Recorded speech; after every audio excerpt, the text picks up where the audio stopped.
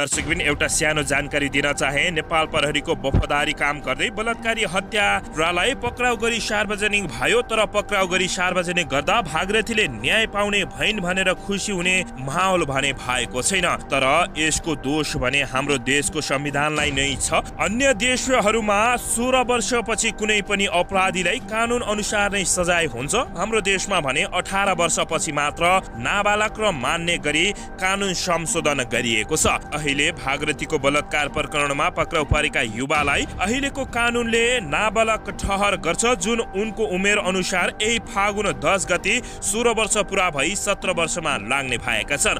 उनको उमेर अनुसार र नेपालको संविधान कानुन अनुसार उनलाई घटनालाई उनको घटनालाई हेरेर ती अपराधीलाई केही समयसम्म सुधार केन्द्रमा राखिने सम्भावना देखिएको छ। हामी सबैले आवाज त उठायौँ र हामी सबैको चाहना माग्नै थियो कि भागरथीको हत्याराले कडा भन्दा कडा कारवाही हुनुपर्छ तर विडम्बना के भने दर्शकबिन जब देशको चाबी दुई तिहाई सरकारको हातमा पुग्यो तब सरकारले देश विकास होइन विकास त केवल बलात्कार हिंसा अनि भ्रष्टाचारको दुई तिहाईको उग्र रूपमा भएको छ। अनि नेता हाम्रो देशको संविधान कोर्ने विद्वानहरूले कहिल्यै किन सोचेनन् कि सोह्र र सत्र वर्षका युवाहरूले बालिका बलात्कार गर्छन् भनेर अर्को कुरा त त्यही संविधानलाई पारित गर्ने मूलधारमा खडा भएकी हो दर्शक बिन नेपालकै पहिलो महिला राष्ट्रपतिले दिन दुई गुणा रत्त चौगुणा पाँच वर्षीय बालिकादेखि सत्तरी वर्षीय वृद्ध आमा बलात्कार हुँदा पनि त्यही बलात्कार न्युज सुन्दा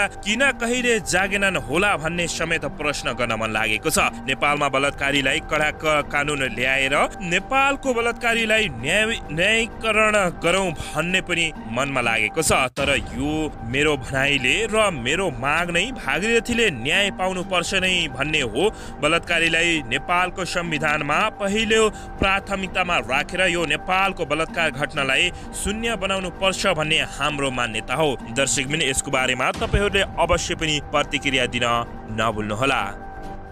दर्शकबिन नमस्कार। तपाईँहरू यति बेला हेर्दै हुनुहुन्छ युआर नेपाली युट्युब च्यानल। दर्शकबिन यदि हाम्रो च्यानल युवा नेपालीसँग अझै पनि सब्सक्राइब गरेर जोडिनु भएको छैन भने सब्सक्राइब गरी जोडिनुहोला। यो भिडियोलाई अन्तिमसम्म हेरी सक्दो सेयर र लाइक गर्न पनि नभुल्नुहोला। दर्शकबिन भागीरथी हत्याकाण्डले फेरि नयाँ मोड लिएको छ। भागीरथीका आफन्तहरूले भागीरथीको शव नबुझ्ने भन्दै फेरि आन्दोलित भएका छन्। प्रहरीले अभियुक्त हत्यारा सार्वजनिक सार्वजनिक गरेको भए पनि भागरथीका आफन्तले भने अझै पनि शव नबुझ्ने चेतावनी दिएका छन्। शव बैतडी अस्पतालमै छ। अपराधी भनेर प्रहरीले सार्वजनिक गरिएका दिनेशले हत्या मात्रै गरेको बताएकाले बलात्कारीको खोजी गर्नुपर्ने आफन्तको माग रहेको छ।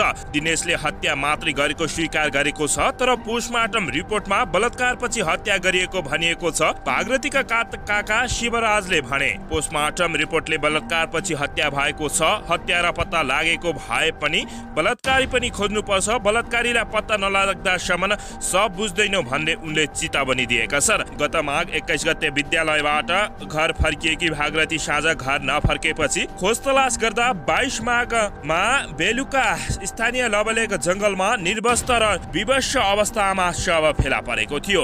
यता भागरथीको शव भेटिएको दिनदेखि नै आन्दोलनमा रहेका आन्दोलनकारीले प्रहरीले चित्त बुझ्दो प्रमाण सहित सार्वजनिक नगरीको भन्दै आपत्ति जनाइएको छ। भागरथी भाटाको न्यायका लागि गठित सङ्घर्ष समितिका संयोजक निशा भट्टले दिनेश नै अपराधमा संलग्न थिए भन्ने कुरा प्रमाणित गर्नुपर्ने बताएकी छिन्। यस्तै सङ्घर्ष समितिका सदस्य भोजराज जोशीले हत्यारा पत्ता लागे पनि बलात्कारी पत्ता नलागे नलागेको बताएका छन्। उनले भने यो घटनामा एउटै व्यक्तिको संलग्नता हुन सक्दैन।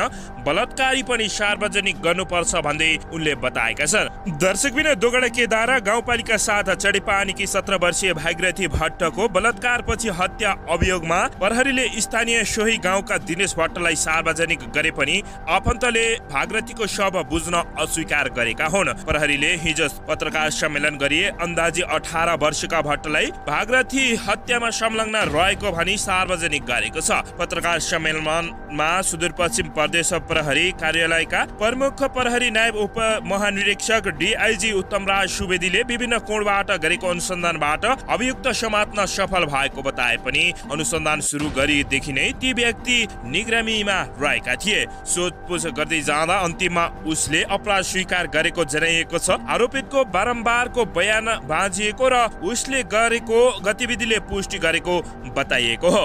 शङ्कास्पद गतिविधि प्रविधि परीक्षणको पक्षको विश्लेषण लोकेसन प्रत्यक्षदर्शी र साबिती बयानका आधारमा आरोपितलाई समातेका हौ पत्रकार सम्मेलनमा डिआइजी सुवेदीले भने आरोपी त्यस क्षेत्रमा गएको देखिने देखिने मानिस लोकेसन ट्र्याक र स्वीकारी बयानका आधारमा पक्राउ गरेका हौ प्रहरीले भनेको छ। भागरथीको पोस्टमार्टम रिपोर्टमा भने बलात्कार पछि हत्या गरिएको उल्लेख गरिएको भए पनि दिनेशले भने आफूले बलात्कार नगरेको बयानका क्रममा बताएका छन्। प्रहरीले पनि हत्या हो वा बलात्कार पछि हत्या हो भने भएको हो भन्ने खुल्न नसकेको जानकारी दिएको छ। दर्शकबिन घटना अनुसन्धानकै क्रममै रहेकोले अहिले नै सबै कुरा सार्वजनिक गर्न मिल्दैन। सुवेदीले भनेका छन् मृतकको स्वाब परीक्षणका लागि विधि विज्ञान प्रयोगशालामा पठाइएको र रिपोर्ट आएपछि त्यो कुरा पुष्टि होला भनिएको छ।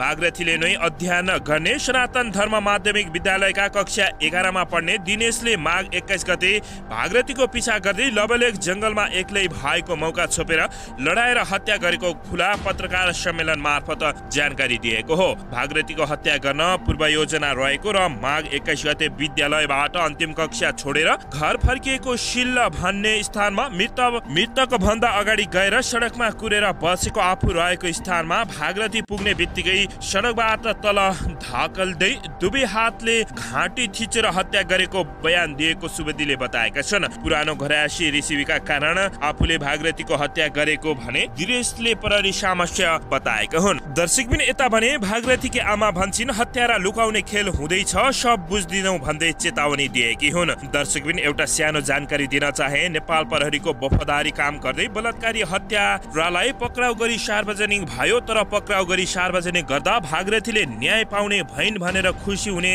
माहौल भने भएको छैन। तर यसको दोष भने हाम्रो देशको संविधानलाई नै छ। अन्य देशहरूमा सोह्र वर्षपछि कुनै पनि अपराधीलाई कानुन अनुसार नै सजाय हुन्छ। हाम्रो देशमा भने अठार वर्षपछि मात्र नाबालक र मान्ने गरी कानुन संशोधन गरिएको छ। अहिले भागरथीको बलात्कार प्रकरणमा पक्राउ परेका युवालाई अहिलेको कानुनले नाबालक ठहर गर्छ जुन उनको उमेर अनुसार यही फागुन दस गति सोह्र वर्ष पुरा भई सत्र वर्षमा लाग्ने भएका छन्। उनको उमेर अनुसार र नेपालको संविधान कानुन अनुसार उनलाई घटनालाई उनको घटनालाई हेरेर ती अपराधीलाई केही समयसम्म सुधार केन्द्रमा राखिने सम्भावना देखिएको छ। हामी सबैले आवाज त उठायौँ र हामी सबैको चाहना माग्नै थियो कि भागरथीको हत्याराले कडा भन्दा कडा कारवाही हुनुपर्छ तर विडम्बना के भने दर्शकबिन जब देशको चाबी दुई तिहाई सरकारको हातमा पुग्यो तब सरकारले देश विकास होइन विकास त केवल बलात्कार हिंसा अनि भ्रष्टाचारको दुई तिहाईको उग्र रूपमा भएको छ। अनि नेता हाम्रो देशको संविधान कोर्ने विद्वानहरूले कहिल्यै किन सोचेनन् कि सोह्र र सत्र वर्षका युवाहरूले बालिका बलात्कार गर्छन् भनेर? अर्को कुरा त त्यही संविधानलाई पारित गर्ने मूलधारमा खडा भएकी हो दर्शक बिना नेपालकै पहिलो महिला राष्ट्रपतिले दिन दुई गुणा रक्त चौगुणा पाँच वर्षीय बालिकादेखि सत्तरी वर्षीय वृद्ध आमा बलात्कार हुँदा पनि त्यही बलात्कार न्युज सुन्दा किन कहिले जागेनन् होला भन्ने समेत प्रश्न गर्न मन लागेको छ। नेपालमा बलात्कारीलाई कडा कानुन ल्याएर नेपालको बलात्कारीलाई न्याय न्यायीकरण गरौँ भन्ने पनि मनमा लागेको छ। तर यो मेरो भनाइले र मेरो माग नै भागीरथीले न्याय पाउनु पर्छ नै भन्ने हो।